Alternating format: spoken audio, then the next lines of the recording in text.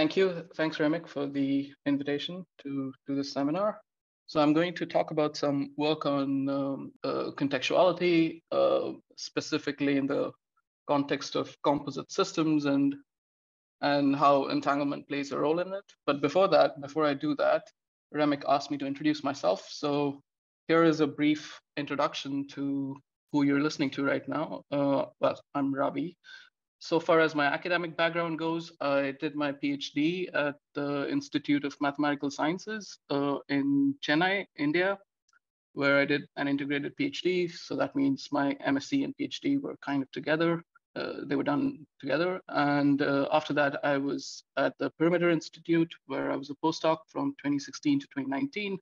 I was also a visiting PhD student there uh, during the fall terms of these years. Currently, I'm at the ULB in at the Free University of Brussels, the French-speaking one in Brussels. So there's two. There's also the Dutch-speaking ones. I'm at the French one. They they care about this a lot. Uh, and uh, I'm funded by the FNRS, um, which is a funding agency, uh, the French-speaking Belgian funding agency. Um, and I'm a post senior postdoc since 2020 at, at uh, this team called QuIC, uh, Center for Quantum Information and Communication. Okay, so that's for my academic background. In terms of research, I mean, a one-line sort of big picture view of what I care about is essentially features of quantum theory that set it apart from classical theories. That's uh, in particular, it's, uh, I mean, I just use the word non-classicality for all of these features. Different people can mean different things by non-classicality. So uh, I, I'm using it as a catch-all for everything. Um, uh, but more specifically, it's it's uh, I think of it in two two ways. One is how you witness it. So if you're talking about witnessing some form of non-classicality, you need to first define what the relevant notion you are after is. You have to give me a, a mathematically rigorous definition so that it's clear what we're talking about. And then you have to uh, tell me what assumptions I need to make on my experimental setup in order to witness that, that notion of non-classicality right? So you need to, there are some background assumptions that always go into defining uh, a notion. Uh, and in terms of how to harness it, uh, I mean, the first question is, is it useful for something? Can you connect it to some concrete quantum protocol, for example, where there's an advantage over classical resources? And secondly, if there is an advantage, how do you quantify that advantage? And, and that requires the framework of resource theories. So, so that's kind of a quick overview of the kinds of questions that I look at in my research. So here's just a quick example, right? Like, so with Bell, Bell non-locality, the relevant notion of non-classicality is the failure of something that we call local causality. So that's the notion of classicality. Its failure is, uh, is non-classicality, often also called Bell non-locality. And what are the minimal assumptions we need to be able to witness it? Uh, we need to be able to have Bell inequality violations under uh, the assumption that the experiment is non-signaling between the two parties. Without this background assumptions, Bell inequality violations are meaningless because uh, you can always send signals and violate them, right? So, so in that case, it doesn't carry that physical meaning that you want it to carry. Uh, so, so that's the minimal assumption you need. Of course, in practice, maybe you need to make a few more. Uh, but theoretically, that's that's what you need. Uh, how to harness it? I mean, it's well known by now that it has many advantages. You can think of non-local games where you know non-communicating communicating parties can have an advantage over classical shared randomness by using entanglement. Uh, you, you have Weissenbind QKD. Um, uh, in terms of how to quantify it, you can write down a resource theory. There are multiple proposals for how to quantify a Bell non-locality, one of which I've also worked on, which is under this set of free operations, uh, local operations and shared randomness. So that's that's just a, an example of, of, of the kind of uh, uh, approach one takes when thinking about non-classicality, at least the way I look at it. Uh, so yeah, so there's this big fuzzy cloud called non-classicality. Uh, you know, for any generic notion, I can ask questions about witnessing it or harnessing it. Um, and I can make this word, uh, this fuzzy word precise in many different ways. So I already just mentioned Bell non-locality. Uh, entanglement is another popular way to uh, make it precise what one means by non-classicality. And again, you can talk about witnessing it, harnessing it, uh, there's um, okay. This is something I'm currently working on, on on how to articulate what it means to witness non-classic, um, like in, in, terms of causality, what it means means to witness non-classicality, and, and what it means to harness it. Uh, and of course, there are uh, in the literature, of course, there there are uh, uh, results along those lines. And there's incompatibility where you can ask these questions. Uh, but today I'm going to focus on this particular way of making non-classicality concrete, namely contextuality, and a specific kind, which is the Kochen-Specker, uh, the, the traditional notion of contextuality. And so yeah, so that's the that's that's what brings me to my talk. Uh, my talk is about contextuality, and um, so that's the notion of non-classicality we'll look at. Um, so yeah, uh, back to the uh, talk itself. Um, so this is joint work with uh, Victoria Wright, who's at ICFO currently. And just yesterday, I heard we got into uh, TQC 2023. So if you're going there, um, yeah, I might see you there. Um, okay, so what's the talk about? Um, it's essentially about the interplay of um, different notions of uh, non-classicality in the context of multi-qubit systems. So on the left-hand side, you have notions that apply to composite systems. So for example, entanglement or Bell's theorem, you need at least two parties to be able to even state the assumptions, you know, that that that allow you to define uh, these notions. So, so these are intrinsically composite notions of non-classicality. On the right-hand side, uh, there's something called Gleason's theorem, um, and there's the Kochen-Specker theorem. So Kochen-Specker theorem is what uh, I mean by contextuality in this talk. And uh, uh these two notions are applicable uh, to indivisible systems in the sense that they're applicable, for example, when your Hilbert space is three-dimensional, which ordinarily you wouldn't think of as two composite systems, right? uh, as two systems and uh, because a minimum the, the minimum dimension uh, a composite system would have is d equals four like a two qubit system right? So that's where these two notions make sense. The minimal dimension where these systems make these notions make sense is d equals three and what we want to do is we want to bring these together and we want to study them uh, for an n qubit system. So if you give me a system of many qubits what are the logical relationships between these different notions? Okay. Uh, Okay, so if that's clear, then um, so in terms of uh, just to uh, um, give some structure to the talk, the, it's in two parts. In the first part, I'll just introduce you to the to the concepts that are necessary to understand the results, the statements of the results, and in the second part, I'll elaborate on the results.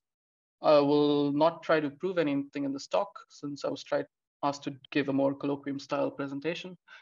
Uh, but it's still going to be more a bit more detailed than a colloquium. Um, okay, so how, I hope that's okay. Um, in terms of concepts, uh, we need some very basic concepts, which um, uh, I mean, the first one is entanglement, obviously. Um, so just to recall, an entangled state is something that you cannot write it write in this form, right? As a convex mixture of product states, you cannot prepare it by using classical shared randomness and doing some local operations right? Um, an entangled measurement, so we'll specifically be interested in uh, entangled measurements in this talk. So I'll call a, a pure a projective measurement uh, an entangled measurement if at least one of the eigenstates, uh, one of the projections is entangled, uh, is, is a projection onto an entangled subspace. Okay, uh, if one of the eigenstates is entangled, then it's an entangled measurement. Um, an unentangled measurement can come in various flavors. Um, so an unentangled measurement, uh, so namely a measurement where all of the eigenstates are products eigenstates, right? Uh, can come in various categories. So the first category is uh, LOCC, measurements that you can implement by local operations and classical communication. So here's an example.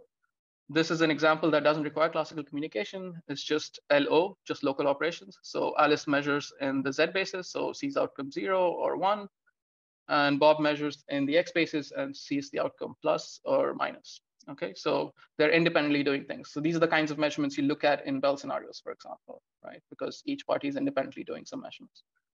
Um, there's also more adaptive measurements you can think of, namely one where the parties are talking to each other. So here, uh, Alice starts the protocol. Alice decides to measure in the Z basis uh, and report the outcome to Bob. So if Alice sees the outcome zero and Bob knows that Alice saw the outcome zero, then Bob is going to measure in the in the Z basis and record the outcome zero or one. But if if Alice saw the outcome one, then Bob is going to measure in the X basis and record the outcome plus or minus.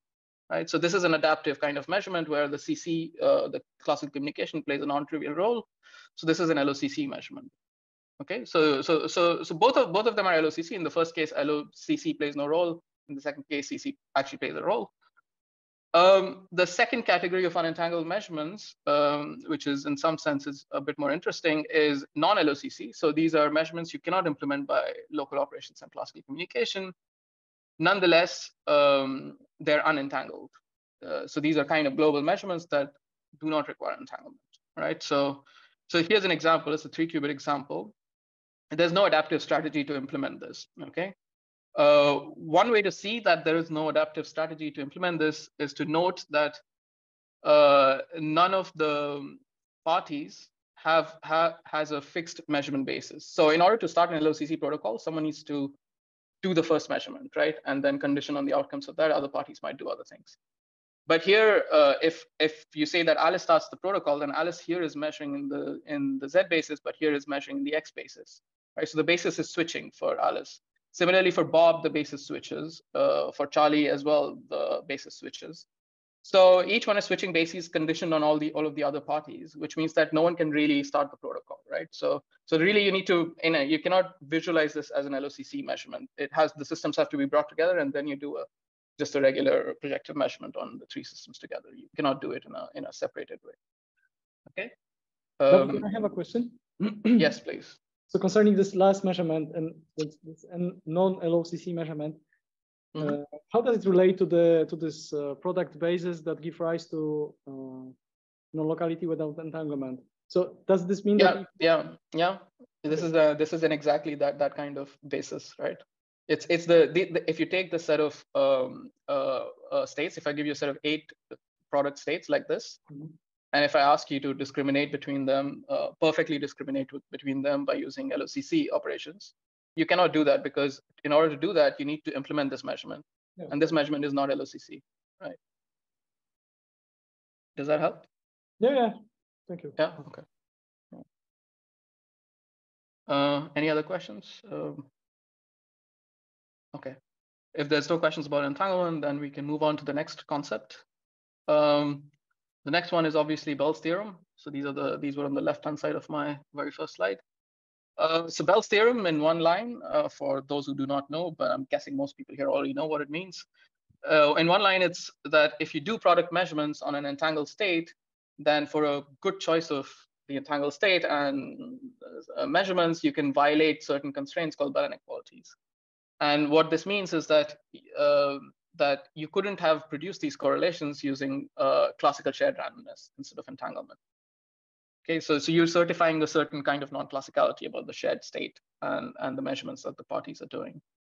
Uh, the setup looks a bit like this. Uh, Alice does some measurement based on some uh, input she receives, some X um, uh, the measurement results in some outcome A, and you know these are the settings and outcomes for Alice, um, and settings and, uh, and, outcomes for Bob, Y and B, and P, A, B given X, Y describes the experimental statistics.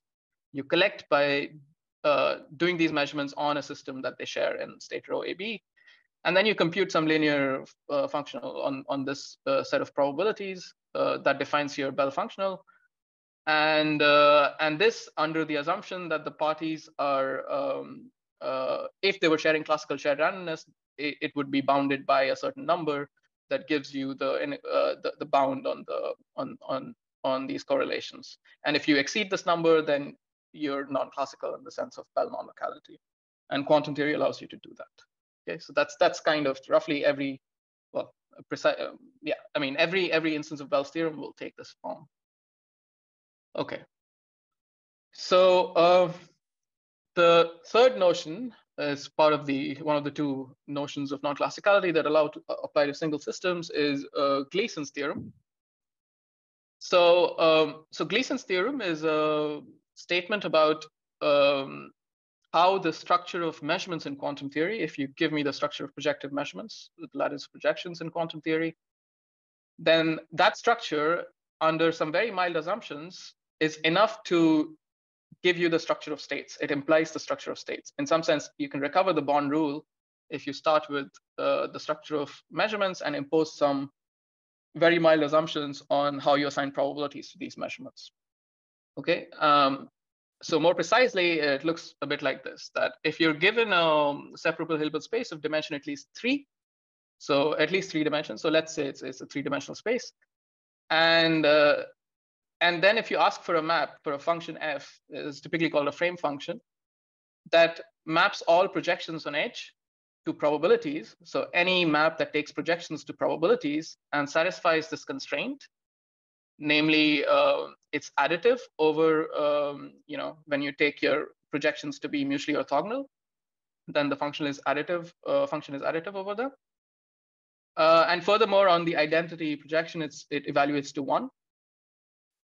Then uh, such a function uh, admits uh, an expression of this form, namely any any probability assignment of this form can be recovered via via a density operator rho. Okay, so via the trace trace pi rho. So this is this basically tells you that this function must come from the Born rule, right? Uh, and this is just under this assumption on the on the function, right? So so here all you're asking for the function is to assign probabilities to your measurements in a way that uh, the probabilities add up to one for every resolution of the identity for every complete measurement effectively. That's what you're asking, right? Under just that assumption, you're able to get the, the Born rule.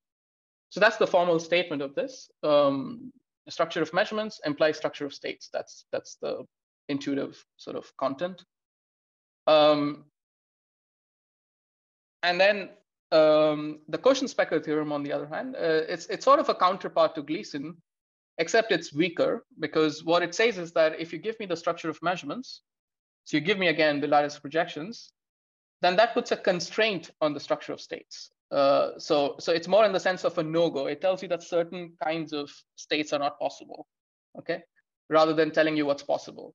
Uh, Gleason is a constructive thing. It tells you what is the structure of states. It tells you exactly what the state should look like if you give me the structure of measurements. Kochen-Specker tells you if you give me the structure of measurements, then it puts a constraint on what states can look like. It doesn't say what the states are, but it says what they cannot be right? So it's a no-go theorem in that sense.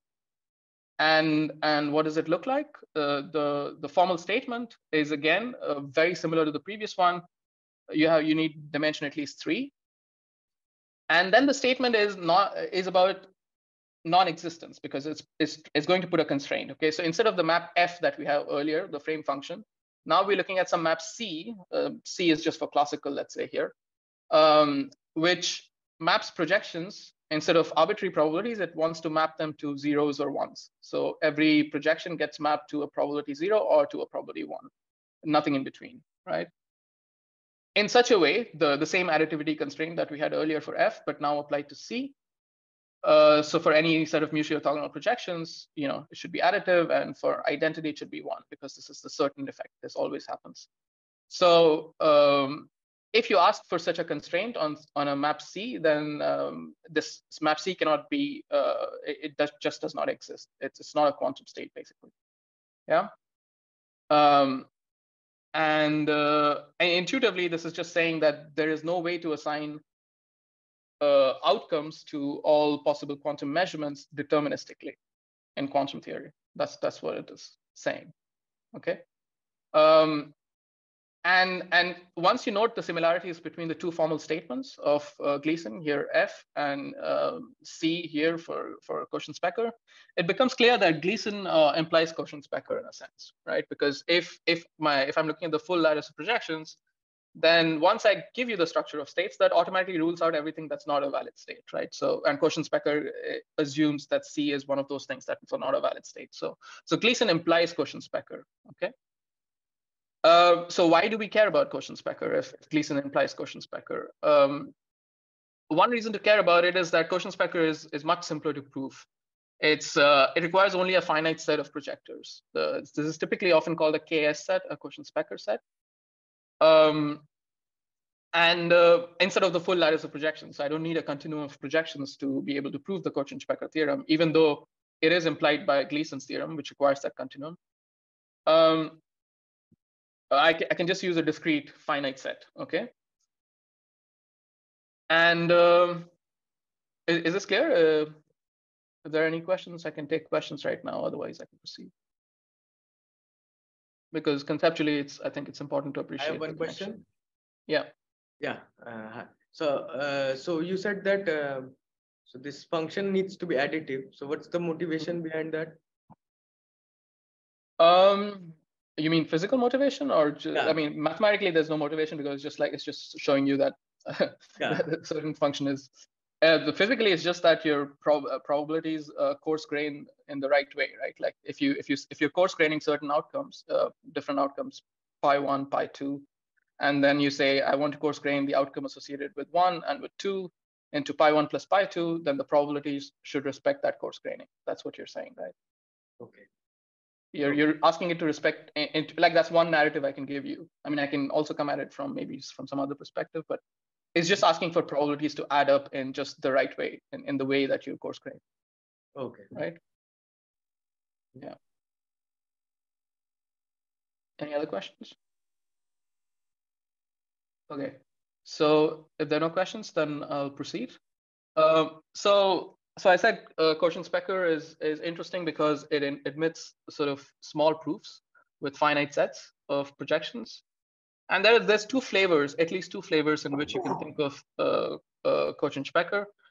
One is um, logical proof of the Kochen-Specker theorem. So when I say a logical proof, I, all I literally mean is that it proceeds from uh, the logical structure of measurements. If you give me the measurements and their orthogonality relations, uh, which can which one can be measured with which and like stuff like that uh, about projections then just from that alone i can prove the theorem right like if you just if the structure of measurements is alone is enough then i call it a logical proof of the Kochen-Specker theorem.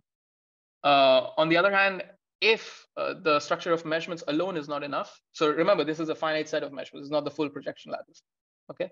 If the structure of measurements is alone is not enough, but I need to appeal to some uh, structure of states, if I need to do those measurements on some specific states and look at the probabilities and then violate some inequalities based on that, then that's a statistical proof because, because it requires me to kind of collect some statistics on some specially prepared state. Right. So this is very much in the spirit of, of, of Bell inequality violations, where you need to prepare a specific state and a, a, a good choice of entangled state I need to measure it uh, with the with a good set of measurements that you see a violation, right? So it's, it's similar in spirit to that. But logical proofs are, are different because they they just proceed from a logical. They only require the structure of measurements. Okay. Um, and so here's an example uh, of what I mean by a logical proof. So this is a proof in four dimensions. So uh, I've drawn a, a hypergraph here um, with some vertices and with some edges, these hyper edges. And what this hypergraph essentially means is it, it represents um, uh, projections, rank one projections on a four-dimensional Hilbert space. And uh, whenever you see a hyperedge, it means uh, it, it's a mutually orthogonal set of projections uh, that forms a complete measurement. Okay, so it's it's so in this case it's four-dimensional space. So this is a complete measurement. It has four possible outcomes, right?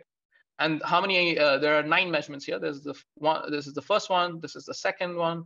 This is the third, fourth, fifth, sixth, and then three more: seventh, eighth, and ninth. Right. So there's nine loops here, and so nine possible measurements. Um, and uh, there are 18 possible projections here.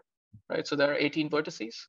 And these are the orthogonality relations in some sense, right? So everything that's in a loop is mutually orthogonal, forms a resolution of the identity and any two vertices that share an edge are yeah mutually orthogonal. And this, this set is taken from this paper, this construction due to Cabello, uh, uh, Estebaranz, and García-Alcaine, I think. I'm hopefully getting the pronunciations right. I'm not sure I am. Um, okay, so so so this is a construction. And how do you see that there exists no map C? So remember, to prove the Kochen-Specker theorem is to prove that this map C from projections to zero, one valuations uh, does not exist, right?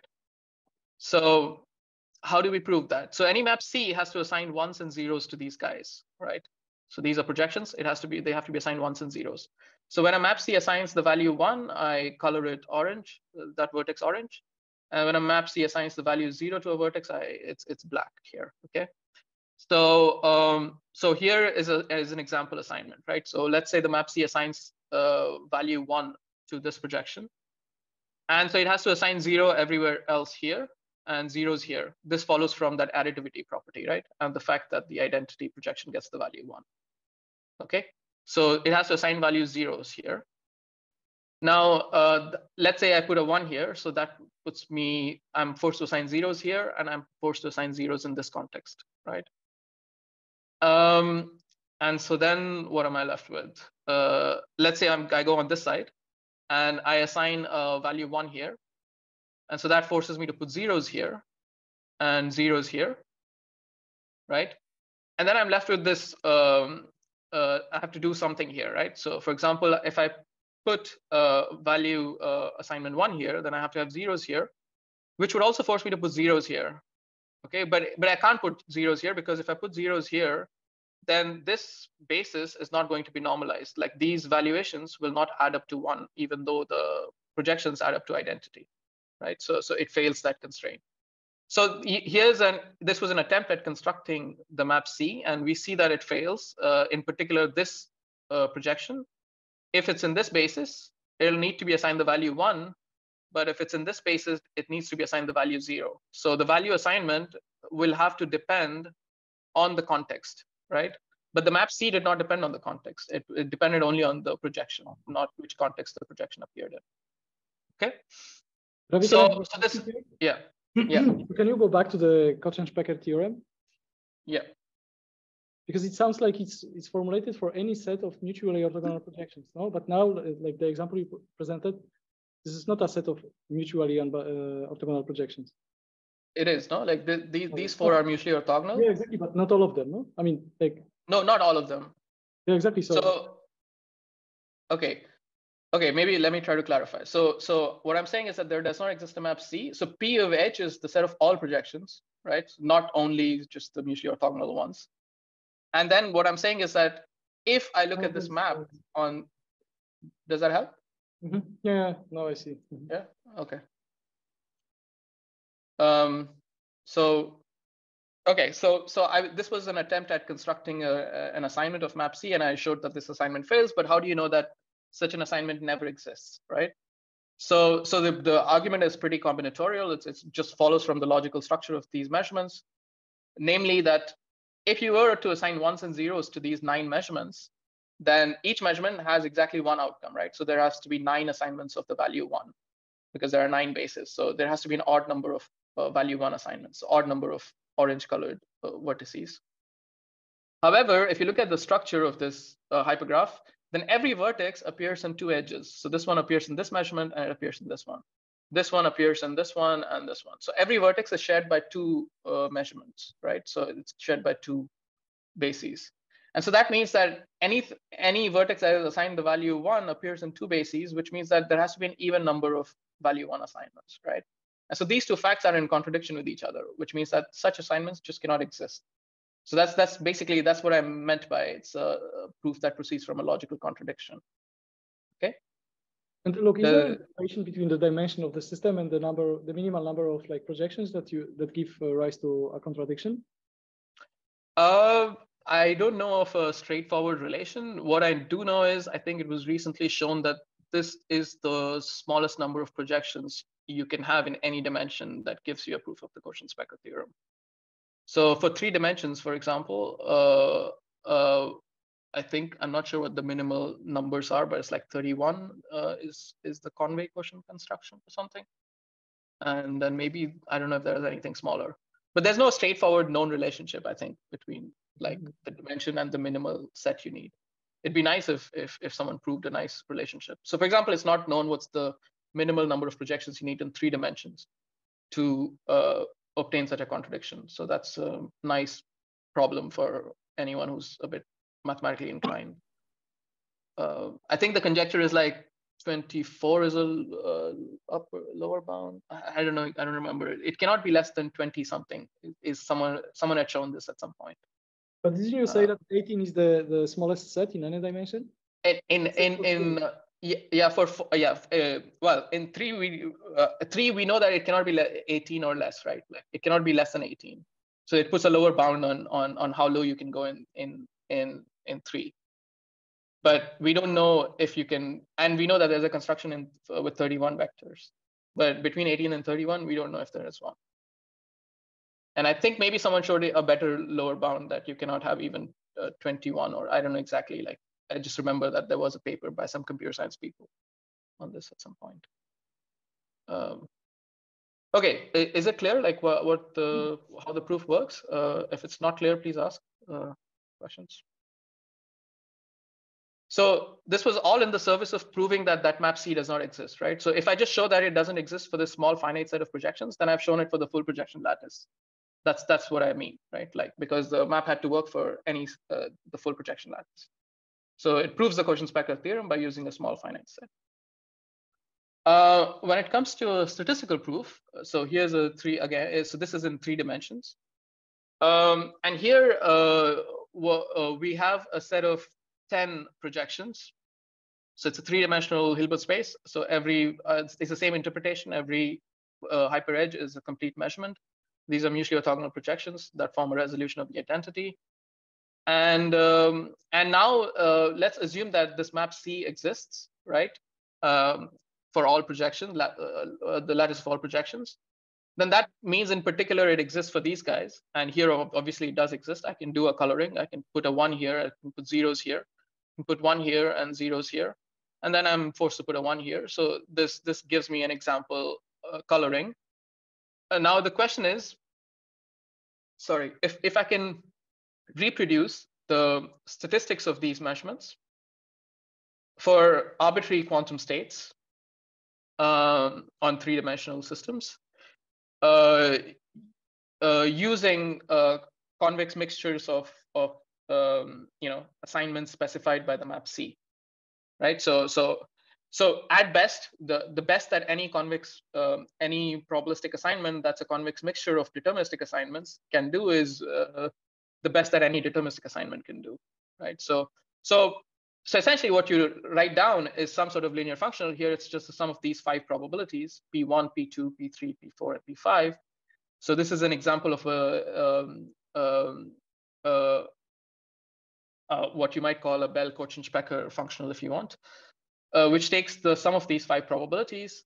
And if you assume that the map C exists, then this sum is upper bounded by two, because any deterministic assignment you make to these guys, the sum of these five is always going to be less than or equal to two. You'll never have uh, more than, you cannot have more than two of these five vertices assigned the value one right? That just follows from the, the structure of the hypergraph. And, and in more graph theoretic terms, what it means is that if I just take the orthogonality graph of these five guys, one, two, three, four, and five, then that's a pentagon.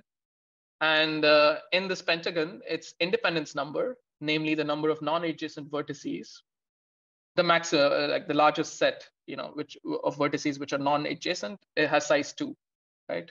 So, so this number is also connected to the independence number of the underlying orthogonality graph. Uh, the overall point is that if you assume the existence of the map C, then this number is upper bounded by two.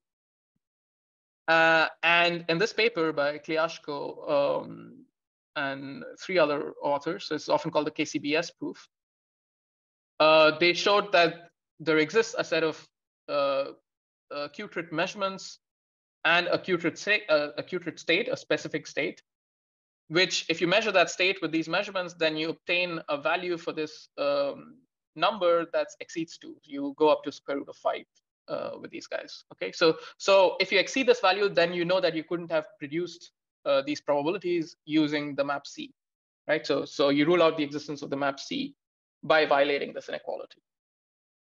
Um, is that okay? Yes. Okay.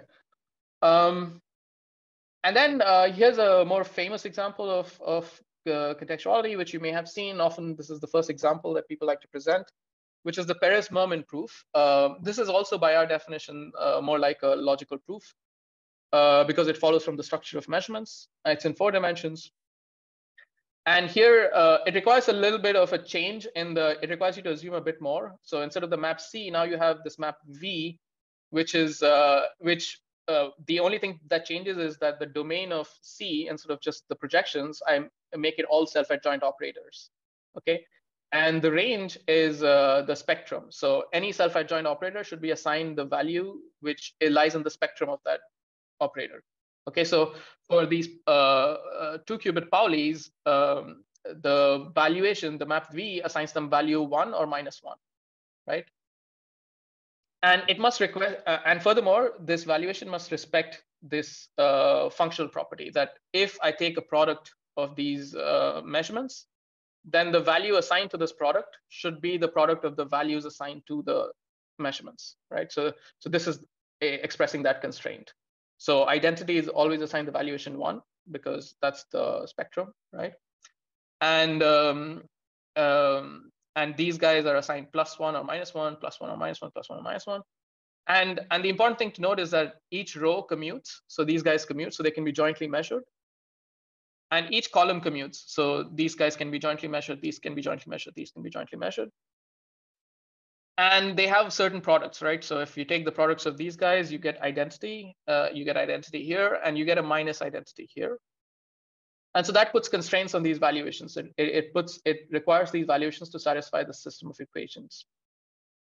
And now it's easy to see that uh, if you assume that such a valuation uh, exists, then you run into a contradiction, namely that a simultaneous solution in plus minus one doesn't exist for the system of equations. How do you see that? If you just take the product of the left-hand side, then every term appears in two equations. So this, this one appears in this equation and this equation. So x identity appears here and it appears here. So that is, that is true for every term. So everything squares, and on the left-hand side, you get plus one, and on the right-hand side, you get minus one, right? Because there's a single minus one on the right-hand side. So plus one equals minus one is what you would need to be true for there to exist a solution, and we know that's not true. So, you know, such a solution doesn't exist, and and so so these valuations do not exist. Okay.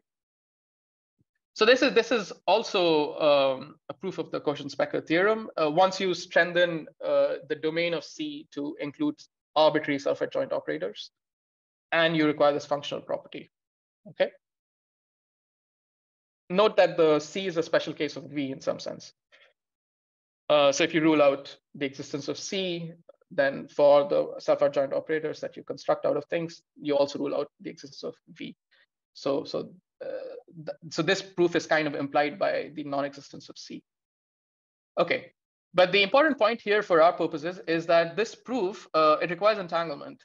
Namely, um, if I'm saying that these measurements are jointly, uh, if I'm seriously thinking about the fact that these guys commute as meaning that I can jointly measure them, then I have to ask in what's the uh, two qubit basis, the, the most fine grained basis in which I should be measuring them, right? Uh, to be able to do this joint measurement. And uh, for so for example, if you look at this third column, the the basis that diagonalizes this is the Bell basis. So you need to measure in the Bell basis and coarse grain that in three different ways to obtain these three measurements. Um, and so, so in some sense, uh, that's the sense in which this this this uh, proof requires entanglement. It requires entanglement because if you're saying that these three guys are jointly measurable, uh, then it means that the joint measurement will necessarily require you to um, um, uh, like the most fine grained measurement requires entanglement. Okay. um, and uh, what else? Uh, yeah. Okay. So that's the that's the one observation that kind of motivates this whole project actually. This observation.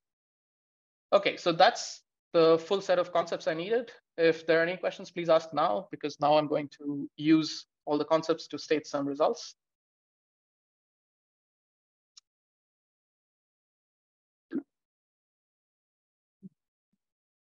Okay, if there are no questions, then um, uh, let's go to the results. So we introduced all the concepts, right? So entanglement, Bell's theorem, uh, Gleason's theorem, and the Kochen-Specker theorem. So now we're going to connect them all uh, in the context of multi-qubit systems by focusing on multi-qubit systems. So this is the first statement. The first statement is that uh, is about the necessity of entangled measurements. So namely that any logical proof of the Kochen-Specker theorem on a multi-qubit system. So if you look at um, uh, a lattice of projections that comes from a multi-qubit Hilbert space, then um, you know if you take projections from that, and if you look at a Kochen-Specker set, and uh, then that set will necessarily contain uh, entangled projections. Okay, so so um, that that's the statement here. So uh, so Peres Mermin contains entangled uh, projections in that sense. Um, and any generalization of Peres Mermin, any n-qubit generalization will also contain that. Or any, in, in general, any uncolorability proof of that hypergraph style that I was showing you will require that uh, at least one of those vertices uh, corresponds to an entangled projector. Okay, so that's the content of, of, of this statement. That's the sense in which you need entangled measurements. Um, Wait, so, I have a question. Yeah. So, uh, so uh, do, do you know uh, some generalizations to the multi-qubit uh, system of the of the Peres-Mermin square? I know that they exist. I can't off the top of my head recall one because I think there's like some a lot of papers which go do this algorithmic generalization of n uh, like Peres-Mermin to n qubits and and stuff. So I know that they exist, uh, but I haven't bothered to to check uh, the exact constructions. Okay. Yeah, I think they exist in the literature. Are there any other questions? And why they don't exist for like uh, QUDIT systems? Right. So for QUDIT systems, you have um, a Kochen Specker with just a three-dimensional system, right? So I don't need entanglement to prove Kochen Specker. Like if you give me two qubits, I mean, each qubit itself has a Kochen Specker. But when you have many qubits, many qubits, Many qubits. Yeah. many qubits? Yeah, but the I can't generalize this result there because uh, each qubit admits a Kochen Specker theorem. So therefore, all unentangled qubit projections will also admit a Kochen Specker theorem. Do you see what I mean? Like, if you can't do it for a single qubit, qubit then you can't do it for product. Uh, Okay. So, so this doesn't generalize to qubits. Uh, so it's, it's in the special case of qubits that you need uh, entangled measurements to witness the Kochen Specker theorem. So it's it's kind of also outlines a, a sense in which qubits are are kind of special, right? So, okay. Um, so there are two aspects to note about this result. Firstly, that um, uh, you, if you remember, when I was talking about unentangled measurements, I included these non-LOCC measurements in, in the set of unentangled measurements, right? So these measurements don't seem to offer any advantage over LOCC measurements in uh, obtaining these kinds of proofs of the Kochen Specker theorem, right? Because the, the most restricted set of measurements is just product measurements, the LO measurements, which is what you do in a Bell scenario. But if you enrich that, if you allow for LOCC and further even allow like, you know, uh, things you cannot do with LOCC, but which are unentangled, even then you don't get Kochen Specker contradictions. Okay, you need entanglement. That's the that's the sense in which you need a very strong form of non-classicality to witness the Kochen Specker theorem. Namely, you need uh, entangled measurements. Um, and so the second is obvious. This is what I just said. That presence of entanglement in Peres Mermin is not accidental. It's it's it's it's necessary in any such proof.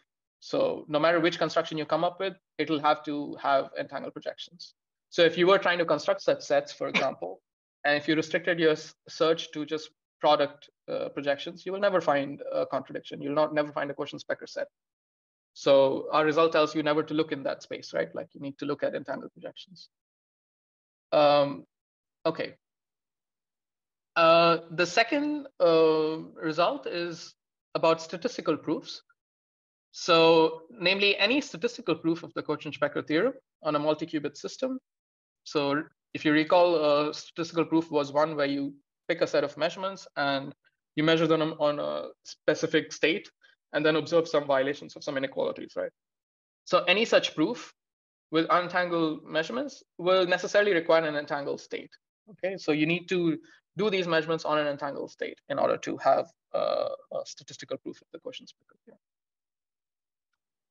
Um, and um, you might ask if this is true for any entangled state, right? Like, are entangled states sufficient for such a proof? Is it the case that any entangled uh, state, multi-qubit state gives you a statistical proof of the Kochen Specker theorem? So note that here we're allowing uh, arbitrary unentangled measurements, right? We're not restricting ourselves to just like local measurements, which is what you do in a Bell scenario, where in which case entangled states are not sufficient for uh, uh, a Bell inequality violation. Yeah, not all entangled states give you Bell violations. But here we're enriching the set of measurements. We're allowing arbitrary unentangled measurements. So, and then we're asking are entangled states sufficient for a such, such a proof if you enrich the set of measurements like this? But Ravi, wait, so, Um, so whenever you're talking about entangled states, you mean pure states? Uh, I, I, in this case, it's mixed state, like arbitrary state. Yeah, because uh, yeah, in this case, it's mixed states. Is that okay? Yeah. The measurements are projective always because that's the regime in which I think Kochen Specker makes sense. But states are allowed to be noisy. Um, okay, so uh, so the question is, are entangled states sufficient for such a proof? And I kind of anticipated this, like this, uh, this sort of the, this result, which is that uh, a multi-qubit entangled state gives you a statistical proof of the Kochen-Specker theorem. So it's useful for proving the Kochen-Specker theorem, if and only if it violates the Bell inequality under local projective measurements. Okay. So no matter what measurements you throw at that multi-qubit state, whether they're LOCC, whether they're non-LOCC, but still unentangled, you will never get a statistical violation out of it if you couldn't use the same state to violate a Bell inequality using just local measurements. Okay. Uh, so since we already know that there exist mixed entangled states that don't violate Bell inequality, yeah. Can you, uh, hey. So I yeah, have a question hi. about this uh, like last statement. So uh, I think it's still open whether sometimes non-projective measurements, if they offer some advantage for Bell inequality, right? So here in the mm-hmm. statement, uh, biologically, uh, Bell inequality, is it sort of assumed to, do you assume that you local local projective perform projective? Yeah. So it's Bell yes, inequality yes, projective. Yes, okay. yes, yeah, yeah. So there is a logical yeah. possibility that there exists like entangled states that are not useful. They violate Bell, Bell inequality, but with local non-projective measurements. It's yes, that's that's yeah, that's that's a possibility, but that's the because because throughout the stock I'm only looking at projective measurements. Of course. So that means also in the Bell case I'm only looking at local projective measurements. So if you look at the paper, the way we state, yeah. So I mean, this is not a very precise statement, right? Like what I mean is if and only if it's violate if it violates a Bell inequality under local projective measurements. So if you look at this statement in the paper, we are uh, clear there that that's what we. Okay, um, any other questions? Uh, no, you, you, can, you can continue. So, yeah. Okay, so um, so yeah, okay. So since we know that mixed entangled states, there exist examples which do not violate Bell inequalities with local projective measurements. We know that you know uh, the same states are useless for uh, Kochen Specker. Uh, you can't suddenly get Kochen Specker if you couldn't get Bell out of them. Um, Okay, so this is a full map of how, uh, for unentangled projections, uh, Gleason and Kochen Specker are related. So if you take multi-qubit systems where each qubit is dimension at least three, and if you look at unentangled projections, then you can prove Gleason's theorem because that's basically because you can prove it for a single qubit. So you can prove it for n qubits in some sense. Um, you can also have Kochen Specker for the same reason. Uh, and plus direct just means that you can have it with um, measurements that are just product measurements. You don't need to look at like other LOCC type measurements. Uh, if you have um, a single qubit, but everything else is a qubit or a higher dimensional system, then you cannot have Gleason's theorem now over over uh, product of such uh, such product projections. Okay, but you can have a Kochen Specker theorem because remember Kochen Specker is no go. And Gleason is more like a Go theorem. It tells you what the st structure of uh, states is. So these measurements are not rich enough to give you the structure of states, but they're rich enough to rule out uh, certain kinds of deterministic states.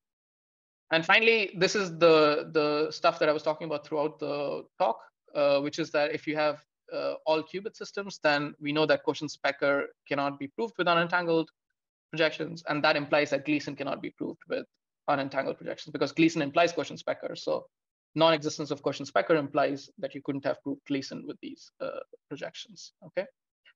Um, so, so, yeah. so, so what does it mean like for entangled, unentangled measurements? You have a uh, Gleason theorem for multi-qubit. Yes. Yeah. So what does it mean that there? Yeah. So you, you can recover the Born's rule with a Yes. Yeah. So what you're saying is that the structure of measurements is rich enough that it constrains the valid, the allowed probabilities to be just the quantum probabilities. You can't have more general probabilities. No, you can. No, if yes. you have like product measurements, like product projection measurements, you mm -hmm. can have entanglement, entanglement witnesses, like in the Born's rule. Um, because this will sorry. also recover. Uh, I'm, I'm looking at the lattice of full lattice of projections, right? Like not just like a specific set of product projections like you see what i mean like that the like like all possible product projections product projections exactly. So like yeah, yeah. trace of uh, uh, entanglement witness with such projections, you will always get non-negative numbers. Mm -hmm. Witness is normalized to one, then they, they are also normalized. I mean, they, they cannot exceed one. Um, or maybe there's something I don't get, no? But I'm, sorry. So, so let me let me let me let me clarify. So, so when I when I say Gleason's theorem is with unentangled projections, what I mean is that the domain of that function f, the the which is this uh, the projection lattice, is now being restricted. I'm reducing it to just uh, product projections and all possible product projections, not just a finite set. And then I'm saying is, uh, then what I'm saying is that if you ask for the existence of um, uh, of this frame function on this lattice of, I mean, on this um, uh, uh, on these product projections, then their orthogonality relations are enough to constrain the frame function to just. Um, uh, this is a non-trivial statement. I'm not saying it's obviously true. It was shown. It was proved by uh, I think Nolan Wallach in, in, in this paper called an unentangled Gleason's theorem. So mm -hmm. this result was was proved there. So I'm not saying it's it's it's obvious to see that that's true. Uh, it's it's not trivial to see. I mean, like they they, they pro he proved it, and here all I'm saying is that um, uh, um, that for for qubits, the fact that you cannot prove Gleason's theorem. So uh, for qubits, you cannot prove. Okay, so that's. uh, but for here for qubits, you can, with with our untangled projections. Um, and um, and here, this implication is just saying that the no-go for Kochen-Specker implies the no-go for uh, that you cannot construct Gleason.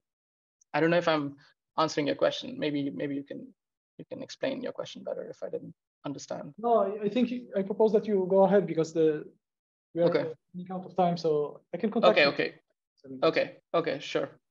Um, okay, so uh, just the last bit is just um, a, a, very simple application of this this result to uh, certain schemes for quantum computation that uh, which are often called magic state based schemes where you look at um, you know a restricted set of quantum circuits. So you don't allow um, universal quantum computation with your circuits. It's a it's a sub theory of quantum mechanics. So in this case it's just stabilizer circuits. So you only do stabilizer gates here. And you cannot do universal quantum computation with these. Uh, but if you uh, inject some uh, special states to these circuits, and then you can simulate arbitrary uh, unitary evolutions to whatever precision you des desire. Okay, like that's kind of this is the model of quantum computation that that um, uh, it goes often goes by the name quantum computation with state injection. And and uh, a key question here is like which properties pick out these magic states? Like you know what what's special about these? Uh, how do I identify whether a state is a magic state or not. Uh, a magic state is by definition would be one which kind of lifts the circuit to universality, which which which allows it to do uh, universal quantum computation. Okay, and there was this famous result in like uh, almost 10 years ago now, I think, uh, by uh, Mark Howard et al., where uh, they showed that you know these magic states that you inject into your circuit um, for if your circuit is a QUOPIT circuit, so QUOPIT, they mean an odd prime dimensional qubit. So three, five, seven, you know, 11, so on. Um, uh, so for those circuits, um, contextuality supplies the magic. And what they mean by contextuality supplies the magic is that the a state is a magic state, namely it lift, lifts the circuit to universality only if it can be used for a statistical proof of the Kochen-Specker theorem. Okay, so, namely there, that the measurements in the circuit can be used to uh, violate some inequality using on by measuring them on, on on that state. So it's a necessary condition that that that uh, any state that's a magic state must have statistical uh, violations, uh, uh, must admit a statistical proof of Kochen-Specker. Uh, but this doesn't apply for qubits, okay? And it doesn't apply for qubits because qubits admit this Peres-Mermin style construction, right? Because Peres-Mermin tells you that for this set of measurements, it's a stabilizer set of measurements. You uh, and so so it lies here that set of measurements. Any state that you measure on this will be uh, in some sense contextual. There's no there's no there's no because it's a state independent proof, right? Like it only requires a structure of measurements. So there's no way that certain families of states are uh, non-magic states are somehow less special than magic states because they're all contextual with respect to uh, these measurements. So so, so this argument works for odd prime dimensions, but it doesn't work for qubits because qubits have Peres Mermin. And then later on in this paper, um, um, uh, the these authors they uh, defined a new model uh, where they looked at qubits, and they said that okay, let's restrict the qubit uh, the the free stuff in the qubit model. So instead of the stabilizer allowing arbitrary stabilizer stuff, we restrict uh, the free stuff and and then they're able to show that under under some restriction on on this uh, uh, on this free circuits the states that give you um, universal quantum computation must have uh, uh contextuality must have statistical proofs of contextuality. Okay?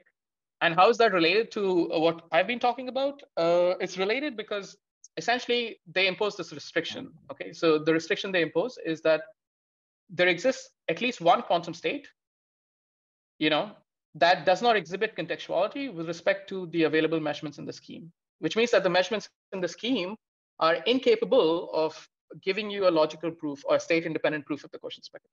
That's what they're assuming in their scheme, right?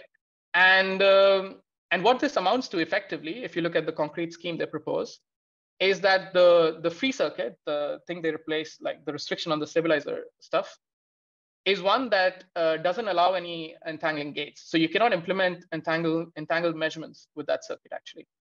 And so this already tells you that actually this restriction that they impose, uh, one way to uh, satisfy that restriction is to say that you know whatever you do, your um, the free stuff you can do should never implement entangled measurements. If that is true, then you satisfy this property. And one way to satisfy that property is to um, yeah, uh, because uh, not requiring ent entangled measurements means that there's no logical proof of the Kochen-Specker theorem, which means that there's no problem with like from Peres Mermin type constructions. Okay, so so that's the connection between like the result that I was showing uh, and this restriction. So you can motivate this restriction starting from our result in some sense instead of a priori uh, imposing it. And and yeah, and and so this is a figure taken from that paper where they look at the again it's like the Peres Mermin square, where you know you can do these are the measurements you can do these are single qubit measurements. And these are the measurements you can infer, right? So you know this the statistics of this by knowing the statistics of this. These guys, these guys, but this you cannot infer basically because your circuit doesn't allow you to do the entangled measurement that lets you like do these things jointly. Okay. So um, so this is just to kind of show that there's a connection with with certain uh, restrictions that people have imposed on qubit uh, schemes. Okay, so this is the final sort of takeaway from this talk. We looked at the connections between these different uh, notions, entanglement, Bell's theorem, Gleason, and Kochen-Specker. Uh, one key result was that for multi-qubit systems, Kochen-Specker uh, requires entanglement. In the case of logical proofs, it requires entangled measurements. In the case of statistical proofs with uh, unentangled measurements, it requires uh, entangled states, right? And secondly, that you know you have a proof of um, Kochen-Specker uh, with uh, an entangled state if and only if that all violates a Bell inequality with local projective measurements, right? And so this, so this is now I'm just inverting, and these these directions were known that Gleason for qubits will require entangled projections. Bell's theorem requires, um, uh, of course, entangled states. Uh, Gleason implies Kochen-Specker, and these were the new stuff. These are the new arrows that we added. And now, if you just take the contrapositive of all of these things, this is what I was saying about the uh, the statement that if you don't allow entanglement in your in your scheme, uh, your restricted circuit, that that explains restrictions on multi-qubit these QCSI schemes, because basically this forbids the existence of Peres Mermin type constructions by our theorem. And and furthermore, uh, on the kinds of restricted schemes that were proposed um, uh, in the qubit paper, uh, it must be the case that the injected magic states are non-local in the sense that they violate Bell inequalities with respect to projective measurements, local projective measurements. Okay, so so these are entangled magic states. Actually, these are not even kind of the usual like product magic states. Okay, so thank you. I'll stop here. That's our paper. If you're interested. Okay, thank you, uh, Ravi, for this nice talk. Are there any questions? Oh, yeah. So I already asked many questions, so maybe the other. I would ask the standard question. Do you have collaborations with uh, experimentalists, and do you think that uh, uh, some of your results could be applied somewhere to some experiment?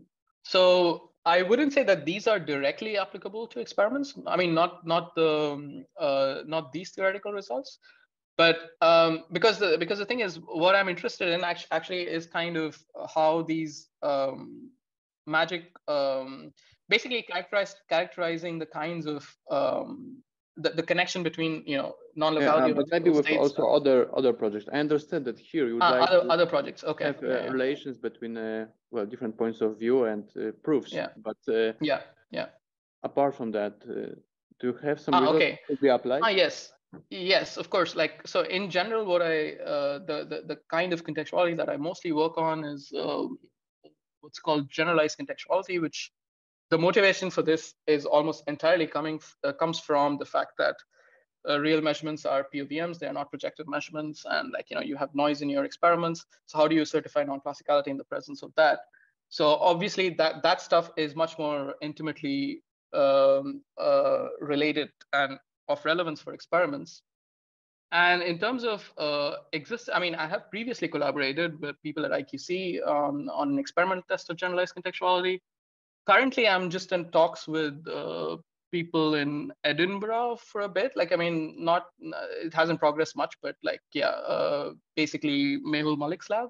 Because basically, because the, these uh, a lot of these Kochen-Specker things require higher dimensional systems, and and those guys they specialize in higher dimensional uh, entanglement. So yeah, I mean, I don't know. That's just the one one group, one experimental group that I've been talking to. So that's that's about it. Mm-hmm. Okay, thanks. Okay, it seems to me that there, there was someone online who wanted to ask a question. So please go ahead. Uh, yes, uh, thanks, Ravi, for the nice talk. Can you hear me? Yes. yes. Yeah, yeah, thank you. Uh, yes. Um, so my question is that I, I have two questions. So first question is that for this multi-qubit um, proofs of logical proofs of contextuality, so mm-hmm. here uh, you need uh, like for more than uh, two qubits. So do you need always um, genuine type of entangled states or like even biseparable states? A, a, a priori, uh, I can't say if you need gen, gen, uh, you know genuinely entangled states. All I know is that you need entangled states. You can't do it with uh, so so yeah so i mean i think that's an important question like yeah if you do you need fully entangled kind of uh, measurements in some sense, or or can you do with less than that? Right? Is that what you were asking? Yes, yes, yes. Yeah, yeah. So it's not the case that actually you need fully entangled because actually in our paper we show that yeah you can you can have uh, that that yeah that you can do it with less than you can have proofs of uh, logical proofs of Kochen-Specker with less than fully entangled bases, for example. Mm -hmm. Yes, and also uh, the other question was kind of related to this, like if you look at the basis, I mean, could there be, let, let's say, so you say that entanglement is necessary. So in that sense, some of the elements of the measurements should be entangled. So do you have some examples where, I mean, even some of the basis, I mean, um, I mean, some of the elements of the basis are like product or something. I mean, not all, but let's say yeah. some of them yeah yes yes yeah yeah that's exactly i think we have that in our paper like the so that's the, okay. because we had this question if if like you know the so a Peres-Mermin so firstly there's the property that the unit requires an entangled basis and mm-hmm. in fact that basis is fully entangled so you're wondering mm-hmm. if this general if, if yes, this generalizes yes. to arbitrary mm-hmm. proofs and the answer is no because uh, okay. that's not true so, so actually, the open general question would be to characterize what kinds of entanglement you need to have this sure. sort of contradictions, right? Mm-hmm. So, mm-hmm. so that simple answer is not uh, uh, is not true, like uh, because there's counterexamples. I mean, so it, it it's, could, it's more subtle. Yeah. I mean, it could also mean that for some kind of um, uh, say say some kind of arguments like this kind of theorems, uh, it may also be like um, more uh, useful to use those non-fully entangled uh, measurements compared to fully entangled measurements. Like with less entanglement, you can show mm-hmm. something more non-classical. Yes, yeah, yeah, for sure. I mean, I think that would be, for example, that would be a relevant question to ask. Uh, maybe also for these, like, you know, what kinds of magic states do you need in these schemes? Do they need to be genuinely entangled or? Mm-hmm or or could they be you know how how entangled do these magic states really need to be for example i mean i don't know right, uh, right. so i mean i'm just trying to connect your question to maybe something that fits these uh, schemes yes yes yes okay okay thanks thanks for the okay thank you. answer. Yeah, yeah, thank you. I think that we can conclude now. So Okay. the speaker again. And well, see you, Ravi. Okay, thank you. See you.